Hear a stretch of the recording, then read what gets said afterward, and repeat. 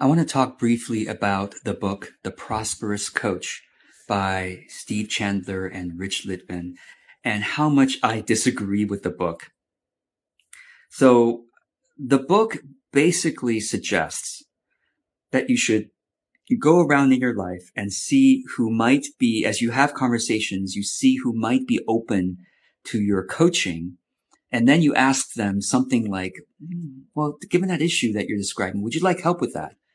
And if they say, yes, I'd, I'd love help with that, then you invite them into a, a free coaching session that lasts for 90 minutes to two hours, sometimes longer. That's what Steve and Rich recommend. 90 minutes to two hours or, or longer free coaching session with you. And by the end of that free coaching session, if it went really well, then you suggest that you meet again with them to talk about working further together. And in that conversation, you would pitch them a high ticket coaching program for you. Because guess what? You have to because you're, you're having these two hour conversations with a bunch of people and it's a lot of your time and energy. So you better get at least a few people paying you high ticket prices. So I disagree with this book, this, this, this strategy on so many levels. I've, I've made a longer uh, Facebook live video about this, but I'll just say briefly why I disagree with this. First of all, the authors themselves, I don't know if they're even doing the strategy themselves. I, what I, from what I can tell, the authors themselves are using my strategy of authentic content marketing because you go on YouTube and you search their names and they have so many videos up uh, of them giving advice, um, being interviewed and, and, and also doing sample coaching sessions with their clients. I think that is smart. If you're going to do sample coaching sessions, try to do it with people who are willing to be recorded. It's for free for them, but they're willing to be recorded so that the, the rest of the public can see how you do coaching. And I think that's one, of, that's part of the content marketing strategy. So as far as I can tell that the authors are doing my strategy publicly. Now, privately, are they doing their own strategy that they teach? If they are, they're qualified to do it because think about this. The authors are now, uh, even before the authors wrote this book, they're already, they were already quite popular, especially Steve Chandler. And he already has lots of, lots of people, leaders, executives, people who are wealthy, who would love to have his coaching. And so he can choose who he wants to give the two hour free session to, choose someone for whom money is not an issue and for who is really eager to have his coaching and then give that two hours and then sign up, sign that person up as a $5,000 a month client. That's some, something the authors can easily do compared to us. Most of us, if we were to give two hour sessions, it's to our friends, it's to our colleagues, people probably for whom money is an issue and can't sign up for high ticket coaching.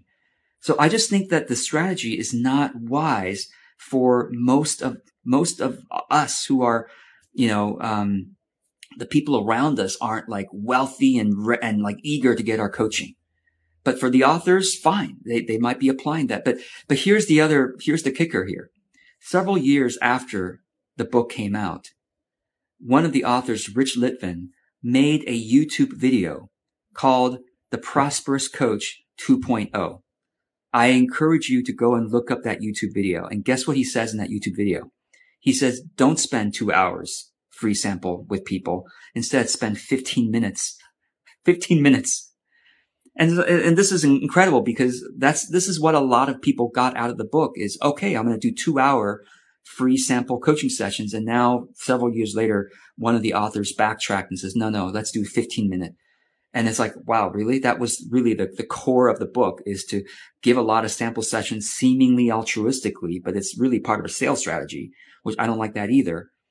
So uh, let me wrap up by saying my sales strategy for coaches is not to pretend to be so altruistic and giving all this free sessions away and therefore feeling some, probably some resentment that you're giving all this away and few people are saying yes to it. So much energy, so much time. But instead, to spend the same amount of time creating, being creative, like practicing creativity fitness. It's a fitness practice of, of showing up, sharing what you know, sharing your life's experiences, sharing experiences from working with clients, of course, keeping the clients anonymous unless they want to be on screen and have a sample session. But it's like, you, you, you, you use the time and energy to create because every piece of content you create doesn't just help one person, like in a sample session. It helps dozens of people, maybe even hundreds of people or thousands of people. As you know, I mean, every video you make or every, you know, post you write reaches dozens, if not hundreds of people, right? Maybe more. And all those people start to get the benefit of what you do. And some of them will then be eager to work with you and they will approach you about the services. And then you can decide if you want to do a sample session or, or of, of any length that you want to vet whether they're a good client or not. And then you go from there. Like th- that is so much more reasonable and realistic of a, a real world strategy than the prosperous coach, in my opinion. So I, I, those of you who have read the book or have tried the strategy, I welcome your comments below.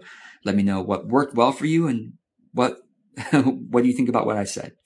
So thank you so much for joining me.